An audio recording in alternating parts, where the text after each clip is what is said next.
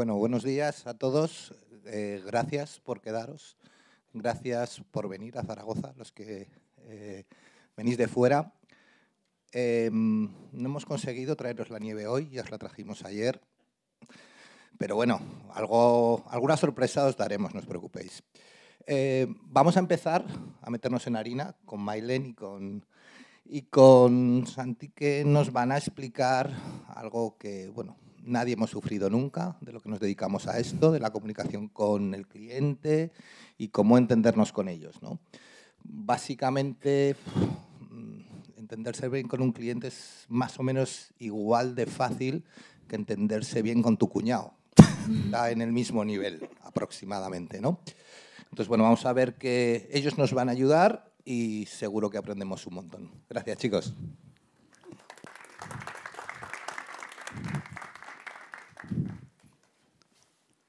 Muchas gracias por quedaros por aquí. Buenos Muchas gracias.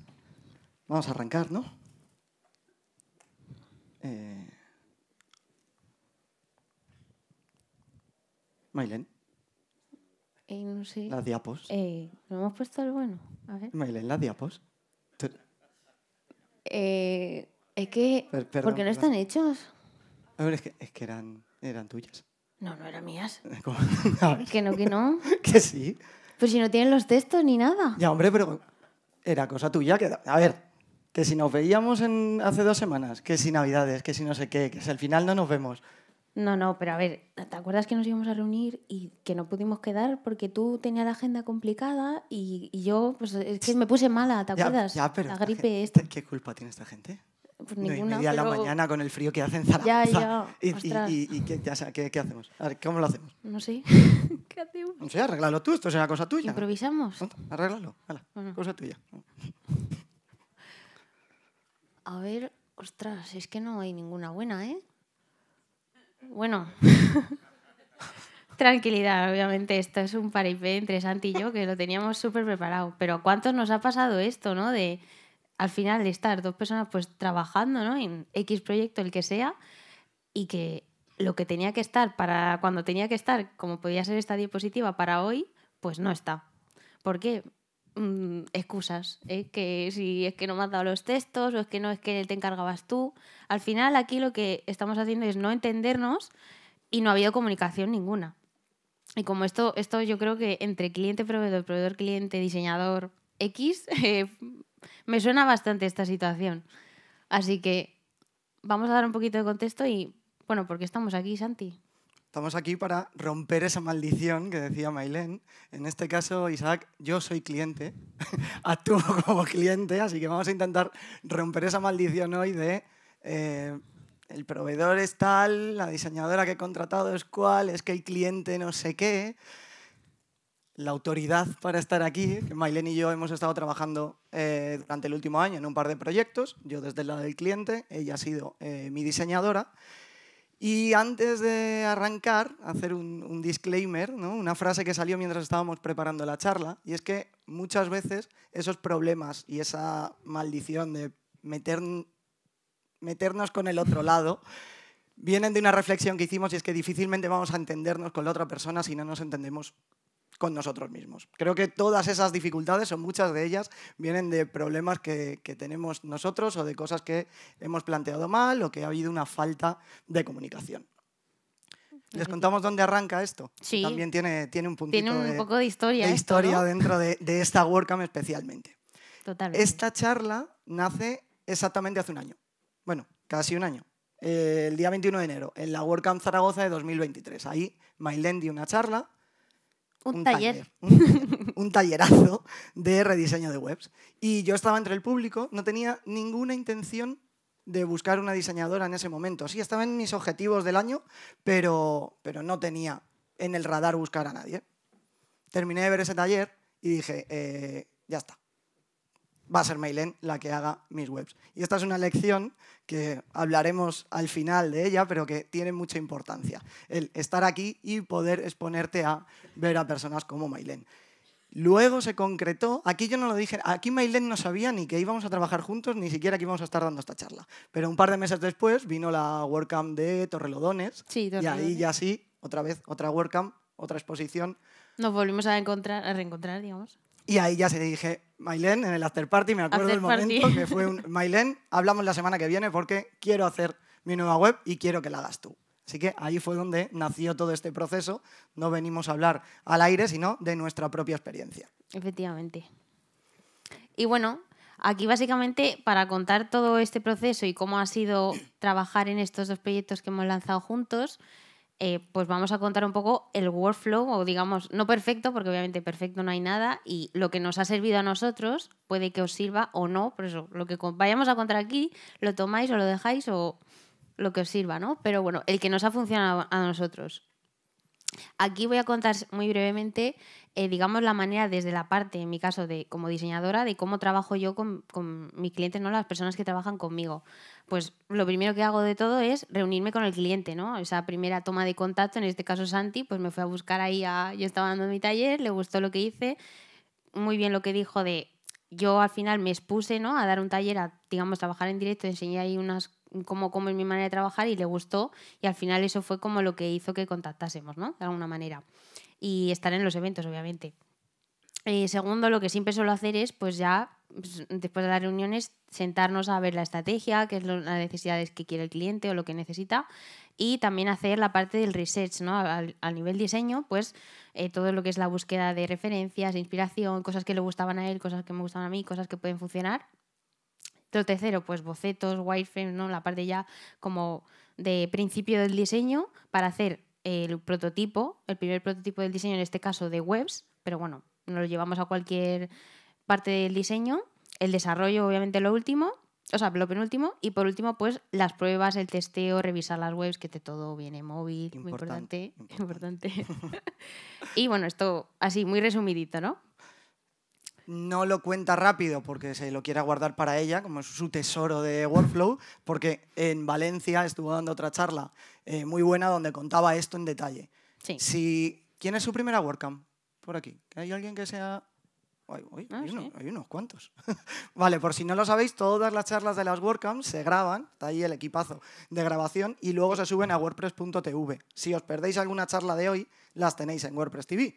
Y esta de Mailen viene bien para cuando estás en otra charla referenciar y decir, oye, todo el workflow de diseño de Mailen lo tenéis ahí contado maravillosamente. Efectivamente. Por eso no me enrollo mucho. No es para que se lo guarde como, como su tesoro.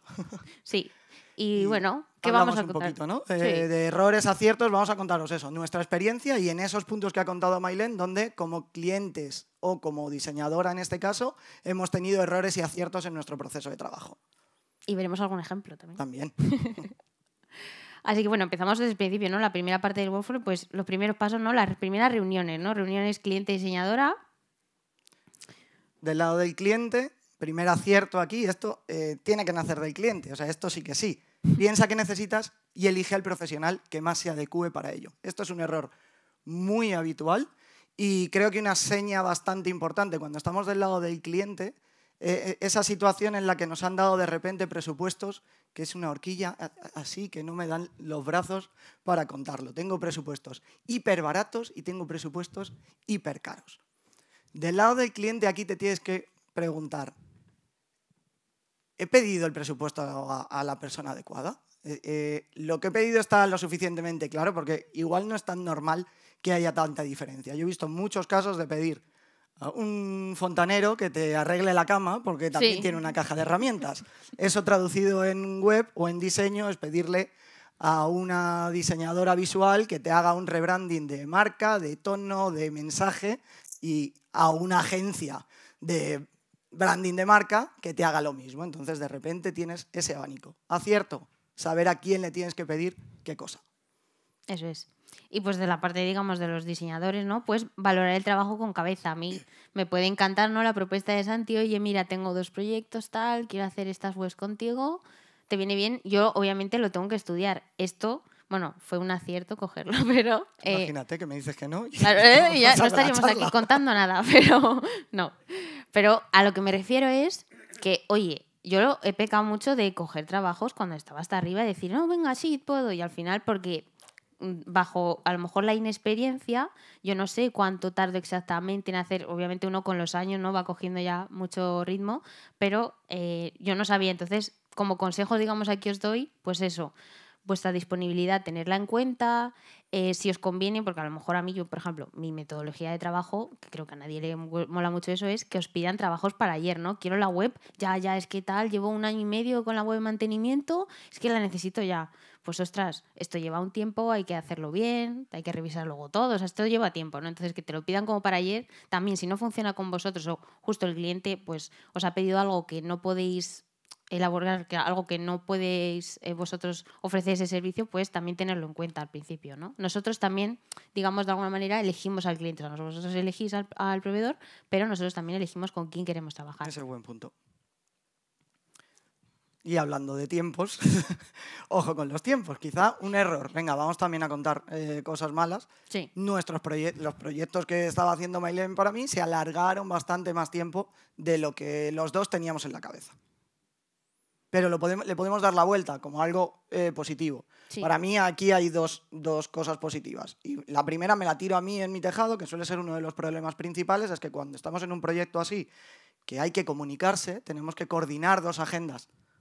Entonces tengamos eso en cuenta, porque muchas veces lo pensamos solamente de nuestro lado tanto cliente como diseñadora, piensa la agenda desde nuestro lado en el mejor de los casos. Es el escenario ideal, se va a comportar así, el cliente me lo va a responder cuando yo se lo mando y no cuando a él le encaje. Y el cliente exactamente lo mismo. Entonces, ojo con los tiempos, aquí buena cosa es, oye, lo voy a pedir con el margen suficiente. En mi caso, yo llevaba año y pico con el mantenimiento.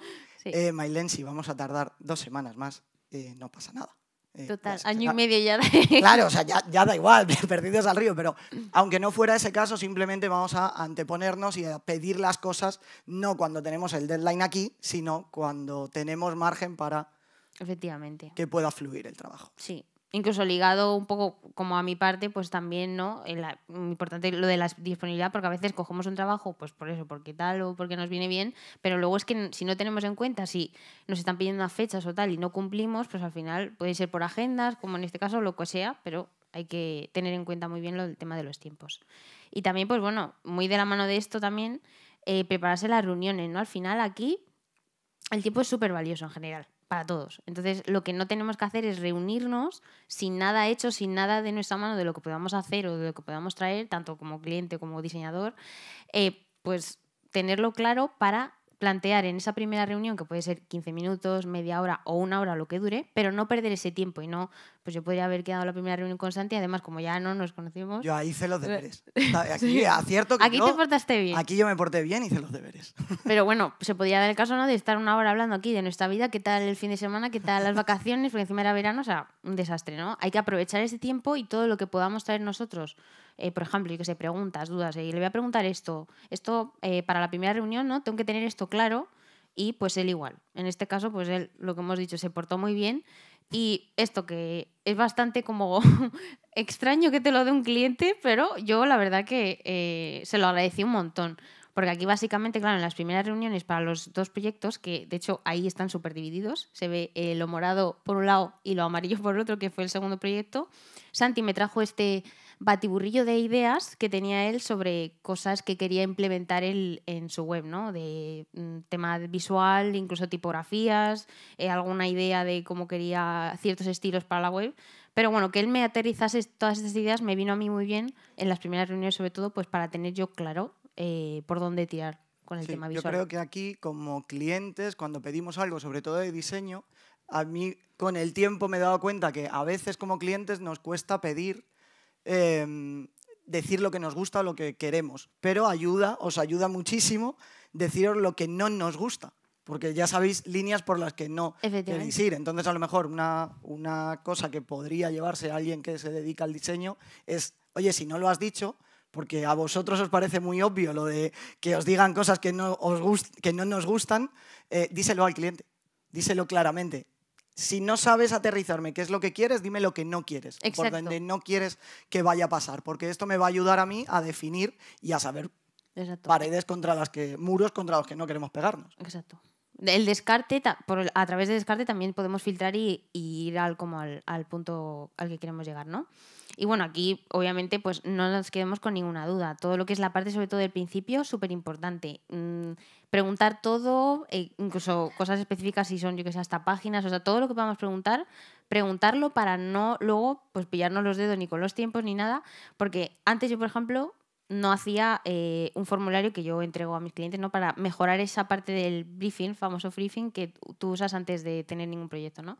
Yo antes no lo hacía, o sea, yo hace cuatro años, cuando cinco, cuando hacía, empecé a hacer webs, es que no entregaban al cliente, o sea, era como un poco que quieres tal, pero no era como tan trabajada esa parte, ¿no? Y eso la verdad que me vino de miedo, porque llevar ese formulario que encima tampoco se tarda mucho, al cliente no le es muy tedioso hacerlo, a ti te da un montón de información para empezar el proyecto. Y bueno, aquí simplemente contaros también algunos objetivos que había que atacar, eh, como por ejemplo el concepto creativo. Eh, no tenía, o sea, Santi tenía una idea sobre las cosas, pero había que aterrizarlas bien y poner un concepto creativo en cada uno de los dos proyectos. Eh, no tenía coherencia visual, que por eso fue que me vino a buscar. O sea, las webs estaban ¿no? un poco ahí disparatadas y necesitaba pues más personalidad y sobre todo más profesionalidad, porque al final también el hecho de que a lo mejor las webs no estuviera del todo rematada tal, pues él a lo mejor quería alcanzar un poquito más esa parte y pulirlo y pues al final fue como objetivos que teníamos que conseguir en este proyecto. Y creo que aquí otra vez acierto, no, aunque tengamos problemas con los tiempos que hemos comentado antes, hasta que no tengamos claro esos objetivos, no pasemos a la fase de diseño. Efectivamente. Eh, por mucho que tengamos la sensación de nos estamos alargando en esa primera fase, no pasa nada. Todo lo que nos alarguemos ahí lo vamos a recortar luego de la parte de diseño, de la parte de desarrollo, de la parte de implementación. Nos va a ahorrar quebraderos de cabeza en ese área. Eso es. Y bueno, esto realmente es lo que esto es lo que yo tenía. Sí. No vale reírse, ¿vale? Esto era la primera versión de la web, por eso llegué a Mailén y le dije, hola, hola Mailén, esto es mío, esto está roto, arréglalo, por favor. Sí, esto, como hemos dicho, o sea, no vamos a hablar solo de aciertos y errores y tal, que también, ¿no? Vamos a enseñar algún ejemplo, alguna cosa, ¿no? Práctico, ejemplo práctico. Este era la, pues, pues la web que tenía Santi antes y fijaos el pedazo de cambio, vamos, es que irreconocible, ¿no? Entre otras cosas porque hasta está oscura, o sea, nada que ver. Fijaos hasta lo que tenía, o sea, lo que tenía él tan bueno en ese moodboard primero que me dio y al final acabó siendo esto, ¿no? Bueno, al final, simplemente aquí, pues, pues si os mola el tema del diseño y demás, pues hicimos cosas, pues, eh, neones, dark mode, con degradados, quedó bastante chula, podéis luego mirarla.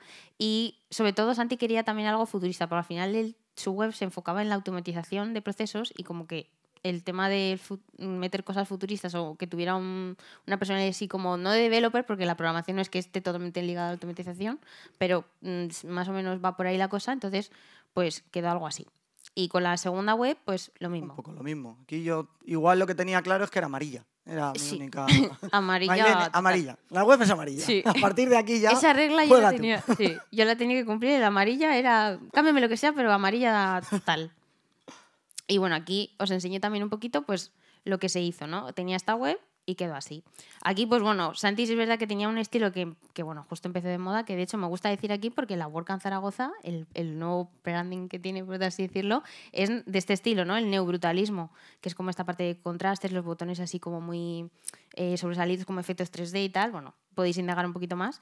Em, y lo que tenía claro es que quería la web amarilla. Eh, aquí hicimos algo muy bien que fue meter como concepto creativo el Tetris, porque al final no la automatización de procesos pues eh, son como piezas que encajan, que él siempre dice mucho esa frase y al final pues nos lo llevamos a un juego, ¿no? Que es el Tetris, que mejor que eso pues nada. Y incluso, aunque no parezca, usan las mismas tipografías, tanto la del body text como la de los encabezados, son las mismas tipografías. O sea que de alguna manera ya empezábamos a unir un poco las marcas, cada uno con su esencia, pero eh, compartían cosas que facilitaban a Santi también. Así que bueno, aquí como acierto, pues emplear mis conocimientos. En el sentido de, ¿no? Los diseñadores algo tendremos que, contar al cliente cuando nos diga esto no nos gusta o me cambias esto. Tenemos que nosotros argumentar de alguna manera los cambios que se van a realizar el diseño, pero con seguridad. No, no decir, es que, pues claro, imagínate, me dice a mí Santi, ¿y esto por qué has metido esto aquí? ¿O por qué has metido este botón? Y yo, es que me pongo así a pensar, claro, doy, tramito tanta inseguridad porque no, no tengo claro ni yo por qué he metido eso ahí que no le convence, no le va a convencer. Entonces, cuando digamos, un tip es cuando os tengan que mm, aprobar X propuesta o, o cuando presentéis propuestas, pues ir con seguridad y, y sí, ir incluso con dudas que os puedan hacer para tenerlo súper claro y transmitir esa seguridad a la hora de, de esto. Sí, yo creo que eh, el tema está en que al basarlo en datos y basar tu argumento en datos, esto deja de ser un debate eh, subjetivo de a mí me gusta más, a mí me gusta menos. ¿no? Es que no es cuestión de Eso que es. te guste o no te guste, es cuestión de que funciona y que cumple el objetivo que teníamos con esta web. Y ahí ya no hay, no hay tanto debate. ¿vale? Exacto. Y hablando de debate. Y hablando de debate, nos vamos al feedback. Cuando estamos en un proyecto, desde el lado del cliente, tendemos a contárselo a alguien que tenemos al lado, vecino, eh, amigo, eh, pareja, quien sea, y decirle, oye, ¿qué te parece esto? ¡Qué error! error para todas partes, esto se va a alargar hasta el infinito. No importa lo que te diga esa parte que tengas al lado, por mucha confianza que tengas con esa persona, prácticamente seguro no es tu público objetivo. Entonces, lo que pueda aportar, de nuevo, es subjetivo, es de sus gustos personales y no del, del objetivo que tenía tu página web. Y además, se lo estamos contando de una manera súper sesgada, porque se lo estamos enseñando nosotros, no tiene claro todo el contexto de las reuniones que hemos tenido Mailen y yo, de por dónde ha pasado esto, de todo lo que me ha contado a mí Mailen, y a lo mejor a mí se me ha olvidado porque estaba pensando que yo quería el logo más grande. Toda esa parte no la tiene la persona a la que le estoy pidiendo feedback. Entonces, vamos a intentar eh, ahorrarnos pedirle feedback a personas que no estén eh, autorizadas o que no tengan, no tengan el perfil que, que sea el público objetivo de nuestra web. ¿no? Exacto, sí, sí. Y bueno, al final aquí un poco Muy importante. Lo he puesto, sí, súper importante. No sabía cómo explicarlo, pero bueno, he puesto confía en tu ojo de halcón, ¿no? ¿A qué me refiero con esto? Pues, ostras, si hay algo que a ti como diseñador o diseñadora no te está gustando, probablemente cuando se lo enseñes al cliente es que no le va a gustar tampoco. O sea, ¿no? O sea, quiero decir, a nivel estratégico, no, no de gusto personal, sino de, ¿no? Estás maquetando a lo mejor una primera landing, una primera propuesta de la home o de lo que sea, y si hay algo ahí que no te está. mm, que hay como una especie de feeling que te está diciendo por ahí no es, pues probablemente por ahí no sea, ¿no? Cuéntaselo con un ejemplo mejor. ¿Eh? Que cuéntaselo con un ejemplo. Sí, Igual, sí. Aquí ejemplos. Muy claro. Eh, por ejemplo, el, el branding de. Bueno, la parte de los logos concretamente. Él quería como unificar un poquito las marcas, ¿no? Entonces al final, eh, eh, bueno, en este caso los dos logos que veis ahí, pues fue como la primera tirada que se hizo que eh, que está tachado fue el que no se usó, como veis, que tenía como el, digamos, el concepto del, del icono, un- unas gafas, pero claro, gafas al final usamos todas, hasta yo uso gafas, ¿no? Entonces era como que no estaba bien aterrizado, es como una primera propuesta que sí que nos gustó y que iban como por tirar por ahí las, eh, las fichas, no acabó siendo así. ¿Por qué? Porque dándole otra vuelta ni nos convencía, luego vimos que no tenía sentido, a mí realmente no me convencía tampoco mucho esa idea. ¿Que Santi quería unificar las marcas? Sí, pero ¿hasta qué punto las unificas tanto, tanto que mm, no? Porque tenían que parecer no gemelas, pero sí que Sí. parecían eh, proyectos que fueran proyectos, ¿no? Como padre e hijo, por así decirlo. Entonces, bueno, sí, lo podíamos haber acercado, pero bueno, entre los deadlines, tal, las vueltas que le podíamos ir, el tiempo que teníamos disponible para hacerlo y tal, pues bueno, al final lo solucionamos bastante bien, yo creo. Quedó muy chulo. que- Eh, mejor. sí, con el tema, por ejemplo, del Tetris, pues fue el, como, co- el concepto que conseguimos, conseguí yo aterrizar. Él me tiró la idea, pero yo lo aterricé ese- esa, esa parte ¿no? a nivel diseño para eh, conseguir que tuviera mucha más coherencia con lo que él quería representar. Porque al final las gafas, eh, yo qué sé, al final quedaba como un poco como que no sabes si es una óptica o qué es esa huevo, ¿no? Bueno, luego lo que te metes y ves Tetris, sabes que una óptica no es, pero se puede confundir. De hecho, provocó, y esto ha improvisado, provocó que también va unido a los aciertos esa flexibilidad que al meter el Tetrix cambió todo el concepto de la web a nivel de textos. Había una versión de textos y eso mutó al meter el concepto creativo del Mm. Tetris y volvió a alimentar el Sí. diseño para, para terminar de cerrarlo. Eh, también tenemos que tener desde los dos lados esa flexibilidad para adaptarnos a las cosas que van surgiendo en ese proceso creativo. Eso es. Y bueno, aquí ¿Nos vamos a la parte de desarrollo? Venga, aquí igual hablo yo un poquito más. Em, flexibilidad. Estaba aquí. Pero flexibilidad también entendida desde el, desde el otro lado. Cuando estamos pasando de la fase de diseño en el papel, en Figma, se aguantan muchas más cosas que cuando las vamos a pasar al, al- al desarrollo. Y aquí muchas veces nos encabezonamos de, veo que esto estaba así, es que lo quiero así. Vale, a ver, cliente, párate, un momento. Cuando estamos como clientes, párate y reflexiona. Otra vez. Esta cosa que la diseñadora nos está diciendo que le va a llevar dos semanas más implementar. ¿De verdad cumple el objetivo? ¿Es, tan vital para el objetivo que tenía la página web? ¿O es algo eh, meramente artístico que, bueno, quedaba bien en el diseño, pero a lo mejor no lo necesitamos en esta fase?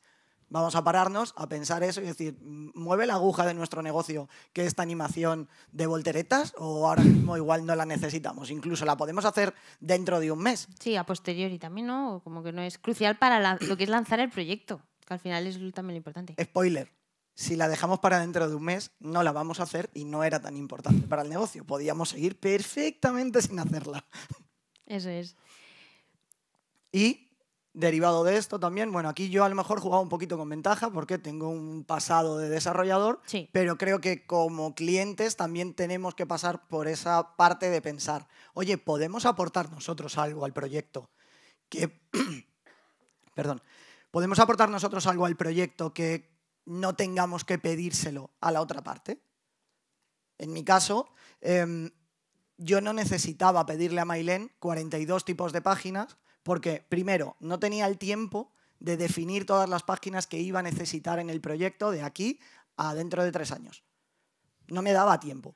Y tampoco eh, lo necesitaba, porque decía, lo puedo utilizar yo. Yo prefería que Mailén se centrara en esos cuatro objetivos que habíamos visto antes y me aportara esa parte que yo no podía hacer de coherencia visual, de identidad de marca, que me pusiera como un, un plano y unos ingredientes, unas piezas que yo pudiera conectar otra vez para, para trabajar. Entonces yo le transmití eso a Mailén, le dije, Mailén, necesito que me diseñes, que me hagas un trabajo de diseño de ciertos componentes que a partir de aquí yo cuando tenga una necesidad de una nueva landing pueda trabajar en ellos y utilizarla. Que eso no quita, que suele ser otro miedo de ya, pero es que como diseñadora estoy perdiendo trabajo. Eh, no, yo llegará un momento en el que diga, Mailén, ahora necesito que, que tú vuelvas a, a entrar a jugar porque me has dado las piezas, pero las he roto. Eh, arréglamelo o dame tu visión de cómo podemos encauzar esto para que esto vuelva a tener la coherencia que tenía. Pero yo no necesitaba darte todo eso porque eso además nos ahorró tiempos en desarrollo, tiempos en análisis y llegamos mucho antes al objetivo. Sí, efectivamente. Esto fue lo que, lo que me dio Mailén y fue para mí una maravilla contar con todo el abanico de posibilidades de, oye, cuando tienes un botón, no te lo inventes, Santi. Coge este, este o este. Cuando el botón está al pasar el ratón, usas este, este y este. Que tienes un encabezado, aquí. Que tienes un degradado, este. Que tienes que utilizar un separador, no cojas el último que ha metido eh, el maquetador que estés utilizando. No, coges estos que los hemos diseñado y tienen la coherencia con el resto. Eso es. Y además yo tengo que decir que también me vino muy bien porque esta identidad la pude arrastrar a redes sociales, a piezas de diseño, a otro tipo de, Sí. de piezas que nos venían muy bien.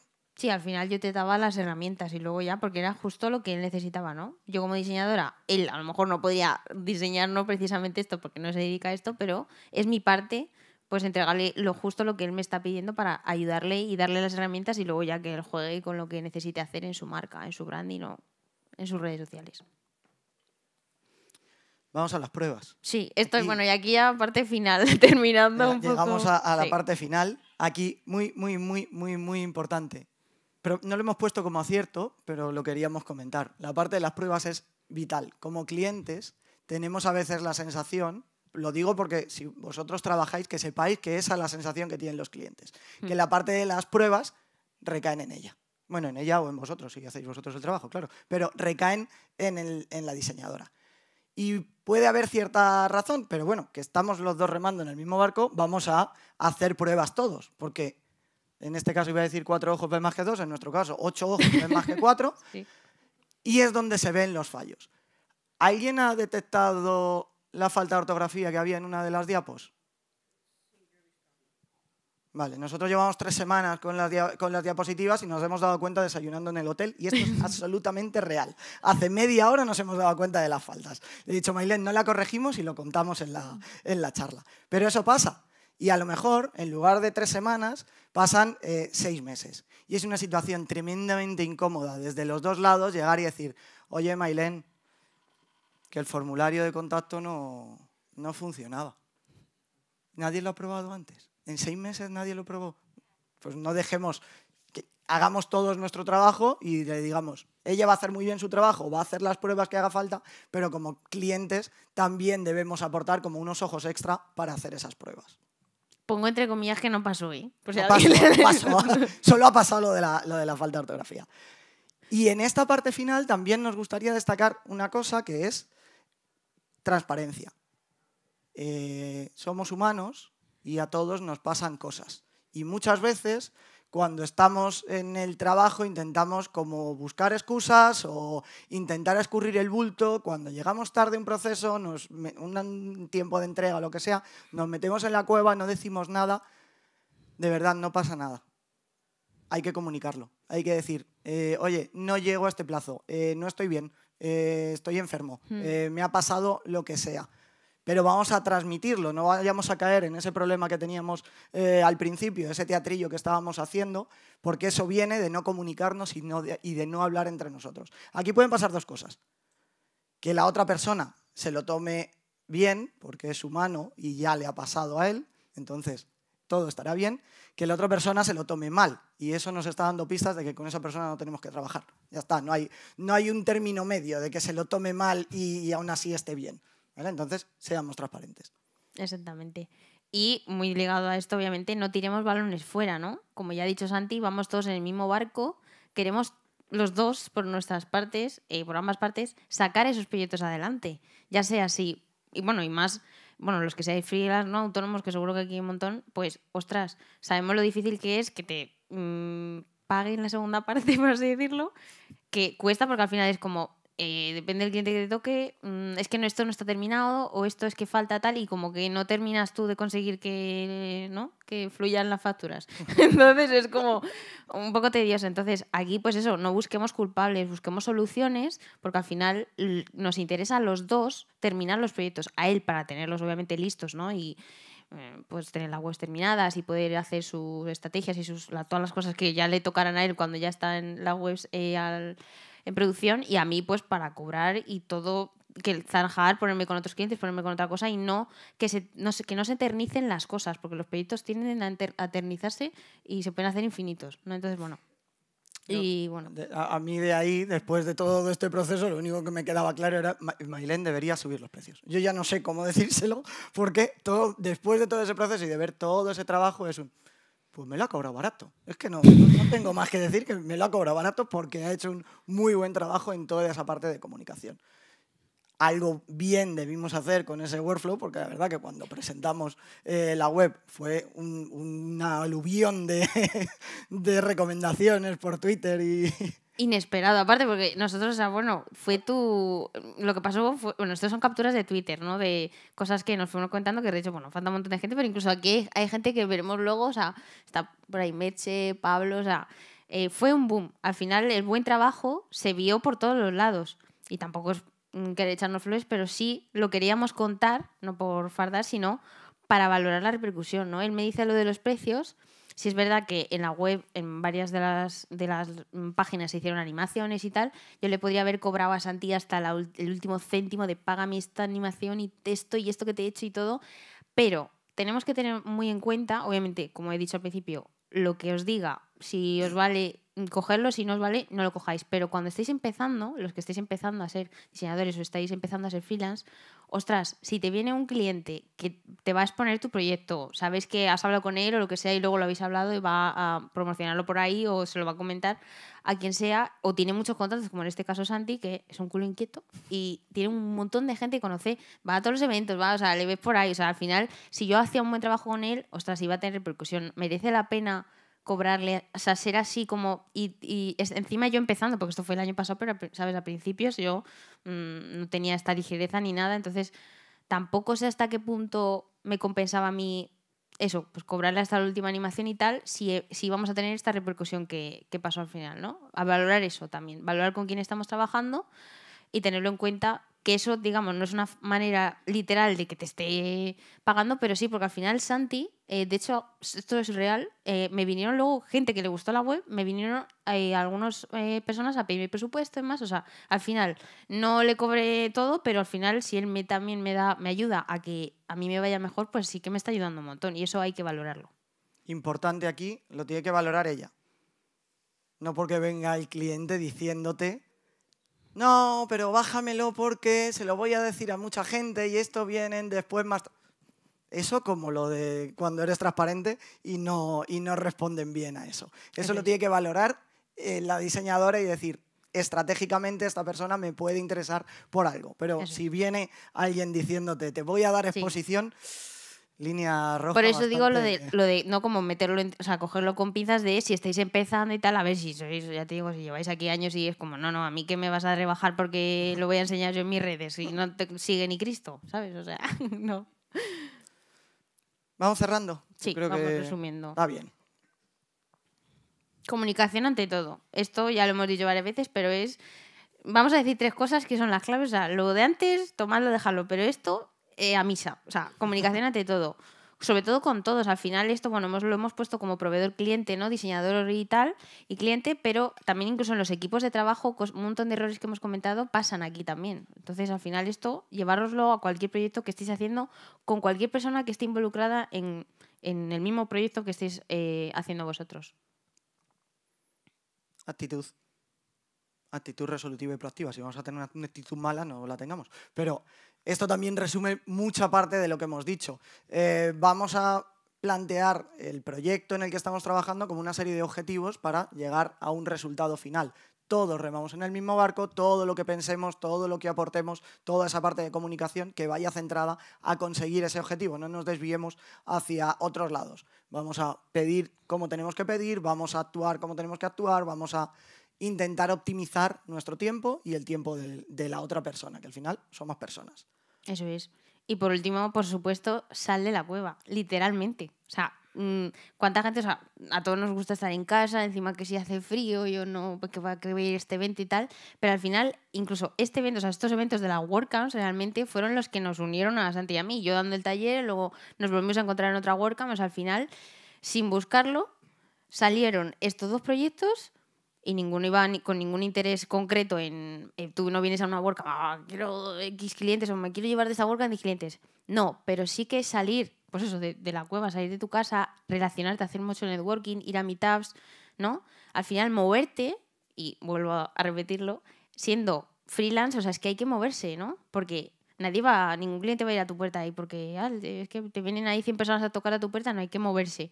Y creo que es el mejor consejo que podría daros, como desde de verdad mi experiencia, eh, siendo incluso freelance. Moveros, salir de la cueva, ir a eventos, eh, Sí. en fin. Sí, sí. sí. Así. Eh, Exponerte, o sea, y Sí. sin lo que dice Mailen, sin esperar nada eh, a cambio, simplemente es relacionarte con gente porque pueden venir eh, proyectos de ahí, pueden simplemente abrirte a otras personas, a ver otra forma de trabajar, de repente llegas y ves el workflow de Mailen y dices, uy, pues esto a lo mejor lo puedo integrar yo en mi proceso de trabajo que no había caído en esta opción. Todo esto viene de Mm, relacionarte con otras personas. Eso es. Ya estamos, Mailen, otra persona que me pregunta quién me ha hecho la página. Por cierto, no nos hemos presentado, así que yo creo que Sí, a todo ya que estamos ¿no? para cerrar, aprovechamos para presentarnos. Ella es Mailen, la podéis encontrar en arroba Mailen Design en redes. No tengo que decir que hace webs muy molonas y con mucha personalidad. Y además del proyecto de Mailen.design, está aquí como embajadora de marca de Rayola Networks. Aplauso.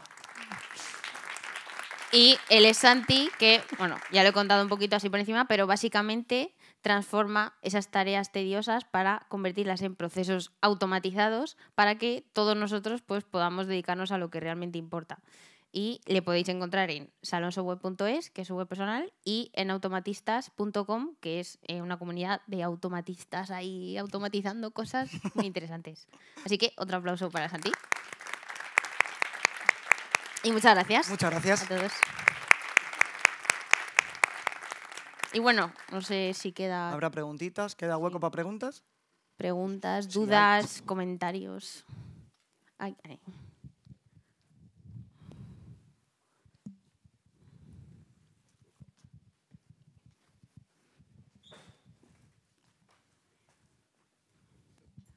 Hola, buenas. Lo primero de todo, muchas gracias por la charla y vuestros proyectos, felicitaciones porque son una pasada. Muchas Gracias. La verdad que a muy ti. guay. Y me ha chocado y me ha gustado mucho eh, cuando habéis comentado, cuando mm, habláis con el cliente, que te diga que no le gusta y que le gusta, que está muy bien. Y yo aquí os planteo una pregunta, que esto me ha pasado trabajando en, en cargos de webs. ¿Y si el cliente no sabe lo que quiere? que ahí hay un problema grande. O sea, yo he tenido clientes que me han dicho, sí, yo quiero esto, esto, esto, esto no me gusta, haces el proceso como él quiere y luego te cambia todo. ¿Qué hacemos ahí?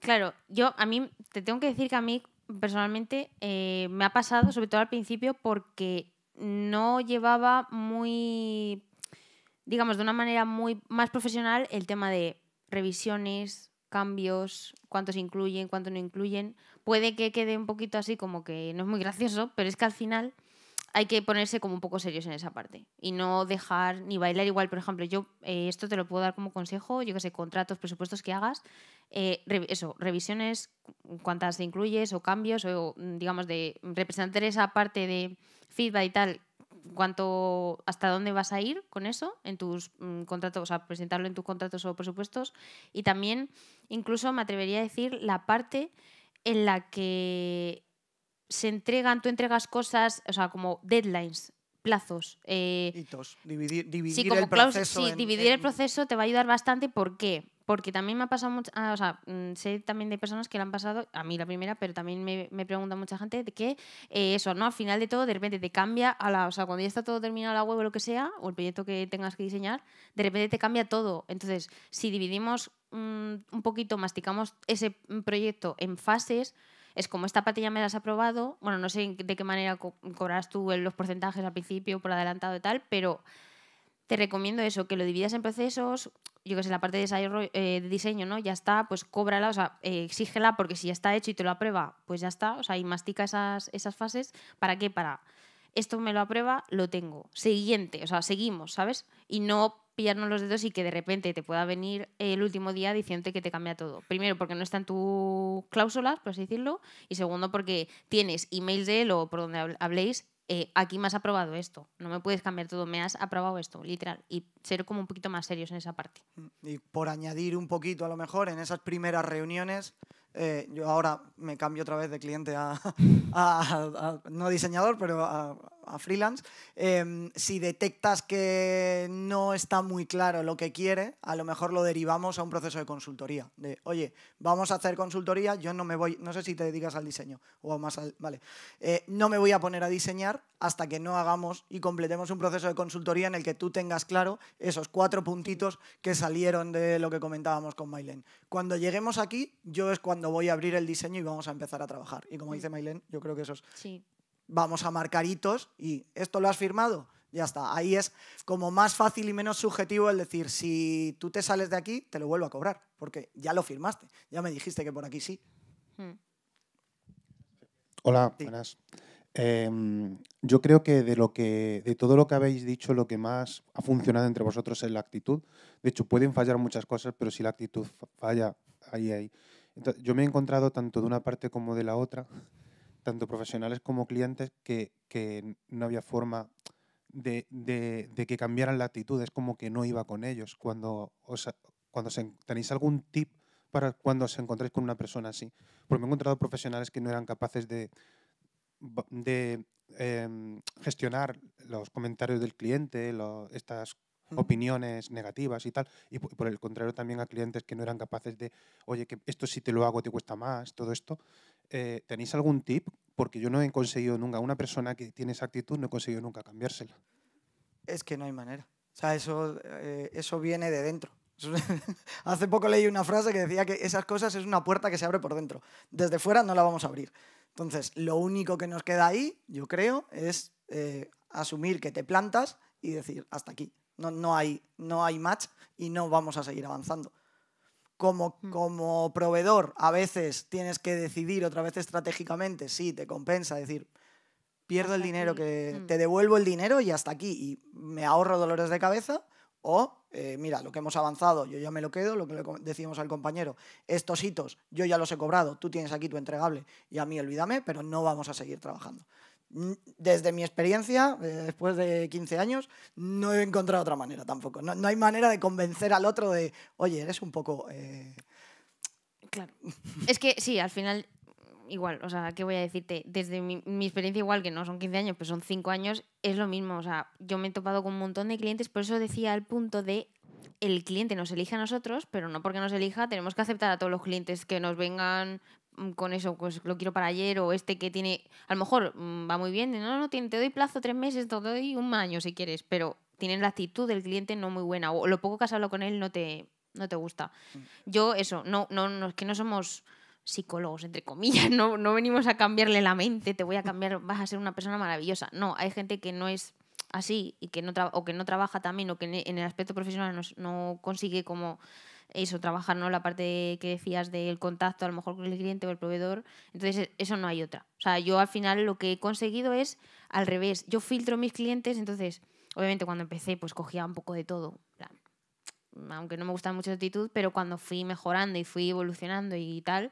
al final también tú eliges un poco a tus clientes. O sea, es decir, tú, mm, de la manera en que tú trabajas y tal, lo normal es que se te acerque gente que mm, pegue con tu manera de trabajar, ¿sabes? Porque ya a mí ya, imagínate, si aquí hubiera alguien interesado en que le haga una web y la quiere para ayer, con lo que he dicho ya vas a ver que conmigo no va a trabajar. Entonces, esa gente, digamos, la he filtrado ya, por como consejo. Pero si no hay cambio absoluto.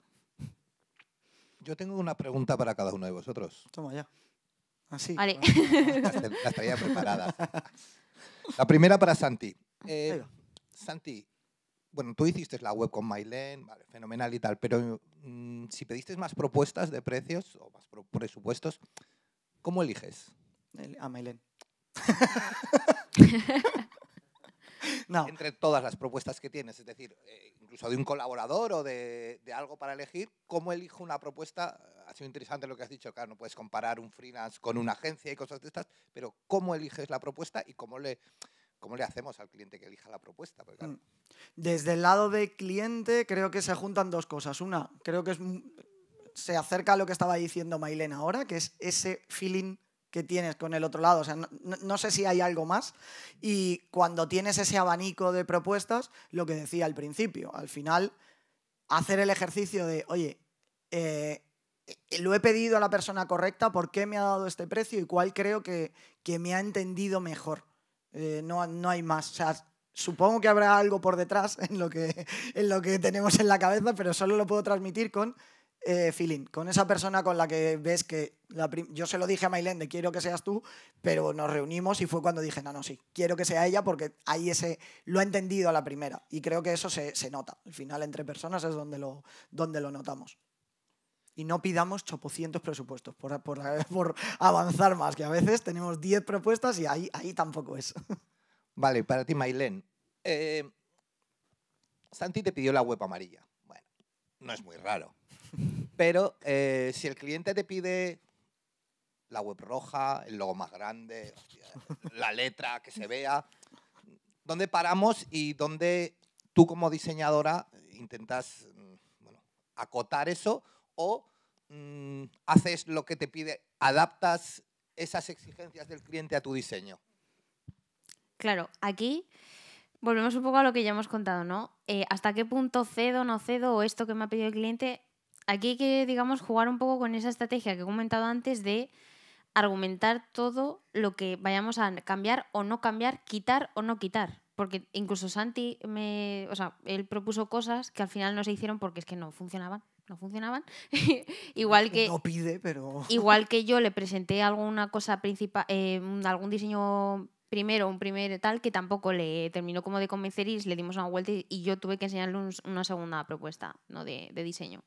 Entonces al final aquí yo lo que haría es, hay dos formas. Eh, a mí me ha pasado con, literal, de no que alguien me pide la web roja, pero algo similar. Y al final es, o le enseñas literalmente eso para que a veces viéndolo, a veces los clientes viendo eh, que eso no funciona, es así como ven que no funciona viéndolo. O sea, ¿quieres el logo enorme? Pues te lo pongo, pero y ya ven y dicen, ostras, pues no, no queda bien. O la web roja, ostras, es que me hace daño los ojos, no lo veo. O, ¿sabes? Y a veces viéndolo así es como ven que no funciona. Y si no, lo realmente que podemos hacer aquí es, como profesionales nosotros en el diseño, que es nuestro, nuestro punto fuerte, pues eso, todos los cambios que tengan, que sean súper seguros, con algo detrás, incluso ya, me atrevería a decir que a las, cuando tengamos que hacer la presentación del diseño, no nos reunimos para, vamos a ver la home de la web, venga, vamos a tal, yo ya irme con qué cosas me puede decir de esto, porque me lo has puesto aquí, ya irte como un poco preparado de casa, Eso es súper mm, consejo. Obviamente habrá gente más cerrada, más tal, y habrá gente igual que te cambie todo, pero ya es, entonces es que entra como en la manera. Pero normalmente una persona que está buscando algo, al final, Santi, eh, lo que quería era solucionar su problema de diseño. Entonces se deja mucho, digamos, confiar en mí, ¿no? En esa parte visual. Pero digamos que habría esas dos maneras. Hoy. A ti. No sé si. Kike estaba por ahí levantando la mano antes, no sé si ¿Sí? quería. Ah, es la que vas a hacer. Ya digo algo, digo, eh, me, me ha- me ha encantado como habéis presentado. He cogido algún tipo de tip también para cuando me toca a mí luego, algún momento, ¿eh? Eh, publicidad. Eh, y eso, no, no. La- ¿Cómo cae cuando eres diseñador y te piden algo que tú ves horrible, que sería como el caso, cuando tú vendes tu alma por dinero, en plan, me va a pagar, hago sí, esto sí. feo, pero o, o- o te plantas y dices, no, por aquí no paso. Era un poquito la pregunta que me ha robado ese señor de ahí abajo. A ver, tengo que decir también que yo, o sea, quiero decir que ojalá pudiera haber hecho eso con, con todos los clientes absolutos, todos no. O sea, yo he tenido clientes que es que no había manera y que me, no sé, incluso alguna cosa pequeñita como puede ser, no sé, un post o algo, un banner X, que, que no lo querían así, que pues al final yo lo que hago es, vale, vale. O sea, cuando ya llega un punto que, mm, por no entrar a discutir, porque eso nunca, ¿no? Al final aquí la actitud, como, como decías tú, la actitud es lo primero. Entonces, mm, con tal de no discutir, ya que no se lleve una mala eh, yo qué sé, primera experiencia contigo ni nada para que por lo menos como que no caiga esa, esa parte en ti tampoco, eh, pues ya está. O sea, a veces hay que hacer lo que dice, pero es lo que digo, intentar como no pelear, pero sí estratégicamente pues... eh, Sí, de- dejar dicho, ¿no? Yo, Dejar- yo te he dicho, sí. mi consejo como es. profesional es. que esto no funciona por esto. ¿Lo quieres? To- Todo tuyo, con lacito y, y llévatelo. sí. Hola, buenas. Eh, yo tengo una pregunta como diseñadora en relación con los tiempos. Hay clientes a los que les envío, por ejemplo, un prototipo y no me responden en semanas, no me dan feedback. Y claro, yo tengo que seguir trabajando con otras cosas. La cuestión es, para acelerar esos tiempos o para involucrar al cliente, para que me diga lo que quiere o para que me diga un, mira, este prototipo no me gusta o este prototipo sí, sigue por aquí. ¿Cómo podemos acelerar esos tiempos? Pues esto también es un poco abierto porque depende del cliente, obviamente, de mm, con quién trabajas. Habrá gente que te dé pues, mm, que te conteste enseguida o gente que esté sin hablarte, pero al final esto pasa un poco de las dos partes, porque igual también hay diseñadores que están, o sea, te abandonan como cliente, o sea, abandonan al cliente, le hacen un ghosting, ¿no? Famoso ghosting. Y es como, y de hecho, mm, mm, me atrevería a decir que am, pasa de las dos partes, pero es horrible cuando pasa de las dos, pero cuando lo haces como de diseñador, yo lo que hago es eh, eso, como estoy masticando el, el proceso desde primeras, entonces nunca vas a ver que yo te entregue algo muy hecho y que de repente te diga, mira, te paso todo el Figma ya hecho, míratelo, dame feedback, porque claro, ¿cuánto va a tardar él en verse todo eso? Hasta que me, a lo mejor lo vea todo, me dé feedback, a lo mejor se tira semanas en contestarme porque le he pasado algo muy tocho. O sea, para que se vea él como primera, primera mm, visión o revisión. Y luego lo que le comentaba a, mm, aquella persona que me había preguntado igual, mm, intentemos pues que, digamos, en tus presupuestos, contratos, dejarlo claro. O incluso en la reunión, en la primera reunión que tú tienes con el cliente, decírselo cómo van tus tiempos. Porque para que no espere eso de ti, o sea, para que y tú de él no- sepa que él no, no es que no pueda hacer eso, pero que sepas que si vas a hacer eso, pues esto te lo doy por aprobado. En plan, si en- me lo invento, ¿eh? Si en dos semanas esto no me lo contestas, está como aprobado. Y lo pone en X cláusula. Entonces, ¿sabes? Para, diga- digamos, tú librarte de esa parte. Eso es lo que podría Creo que como cliente, desde el lado del cliente, eso ayuda. Eh, otra vez es volver a hacer obvio lo que desde, desde- en nuestra cabeza suena bien y lo damos por sentado, a veces no es tan dar por sentado. Cuando envías el, oye, aquí, tienes, eh, aquí te envío el vídeo donde te explico tu diseño, eh, necesito que me des respuesta antes de tal día para que pasemos a la siguiente fase. Eso es. Y si cuatro días antes de eso no te he dado respuesta, vuelve a ponerme el mail de, oye, no es por presionarte, pero tal día necesito que me des feedback porque si no, yo voy a, esto se da por aprobado como vimos el día de la reunión y esto pasa a la siguiente fase. Eso Ya deja de estar en el limbo ese feedback y está ya de- del tejado del cliente 100%. Y ahí va a ser más difícil que el cliente te lo rebata luego, porque sería decir, ya, es que, es que soy tonto, si es que me lo, me lo has dicho tres veces, o sea, no puedo, ya no puedo argumentar. Claro, Cortamos. exacto. Eso es. Muchas gracias.